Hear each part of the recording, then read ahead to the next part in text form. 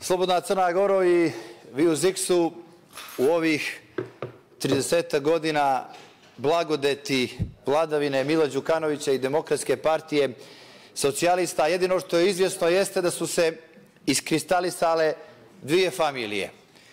Prva familija Mila Đukanovića i druga familija koncerna vijesti Miška Perovića i Željka Ivanovića koja od 30. augusta ekstremno i silistički pokušava da preuzme pozicije prve familije, a i da određuje sve moguće procese u vladi Zdravka Krivokapića.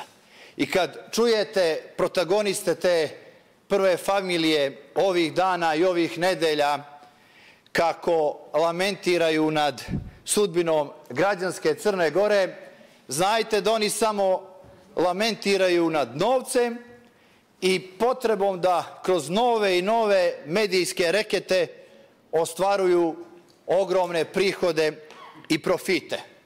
Želim da vas posjetim da je taj Željko Ivanović zajedno sa Miškom Perovićem bio jedan od medijsko-finansijskih izmećara prve familije i da su se negdje krajem 90-ih posvađali jer su odlučili da oni budu druga familija koja će na čekanju pokušati da postane prva familija. I sad kad pogledate ima li razlike između prve i druge familije, nećete naći. I prva familija ima banku i druga familija ima banku. I prva familija ima televiziju i druga familija ima televiziju. I prva familija ima berze i projekte i druga familija ima berze i projekte. I prva familija ima nekretnine po svim meridijanima ovoga svijeta i druga familija ima nekretnine po svim meridijanima ovoga svijeta.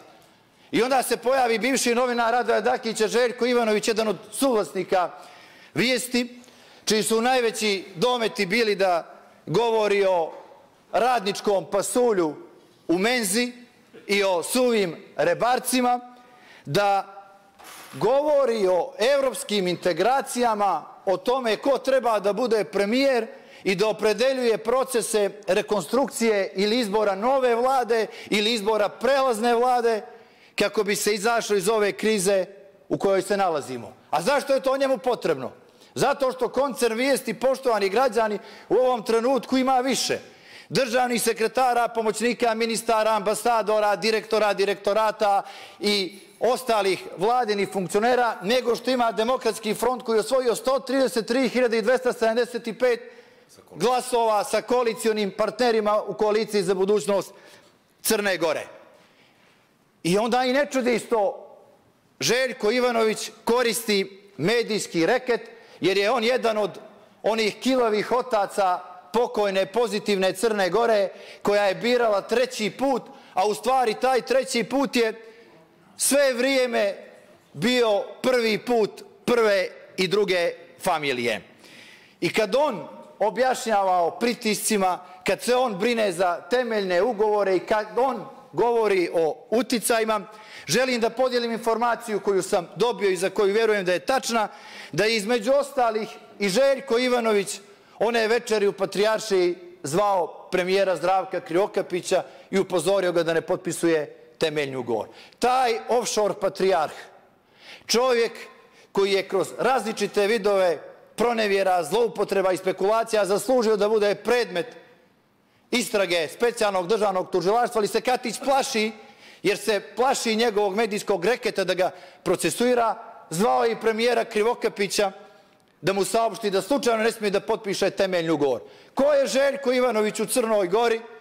Jedan kraljevčanin iz predgrađa, bivši novina Radoja Dakića, čovjek koji je na ruskim kulama na šestom spratu držao jarca misleći da je koza, da zove premijera Krivokapića i da zaustavlja potpisivanje temeljnog ugovora, a pritom demokratsku partiju socijalista izjednačava sa demokratskim frontom. Evo da vidite šta je sve Željko Ivanović za kratak period stvorio pod ovom okupacijom DPS-a.